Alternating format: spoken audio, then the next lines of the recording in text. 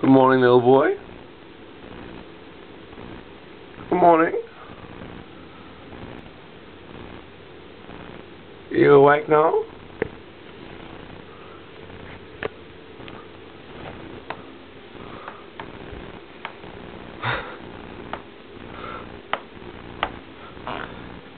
Is it too early for a little little Doberman boy?